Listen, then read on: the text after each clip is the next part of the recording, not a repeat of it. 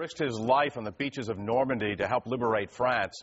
Now, nearly 70 years later, a World War II vet from Hull has received an honor fit only for the bravest of heroes. The French consulate of Boston awarding 91-year-old Gordon O'Brien with the French Legion Medal of Honor. It's the French equivalent to the Medal of Honor. The ceremony took place last night at Town Hall in Hull. O'Brien taking the time to reflect on that fateful day.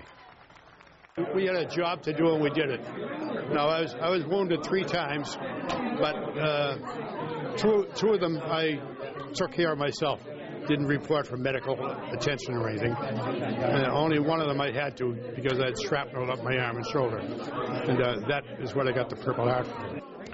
The prestigious award makes Gordon a Chevalier or Knight. The nominating process is intense and involves several reviews by French selection committees. Congratulations, Gordon. Thank you for your service. And you look great. Absolutely. You know, He look at him. does. Look at him. We owe so much to him. Absolutely. Thank you.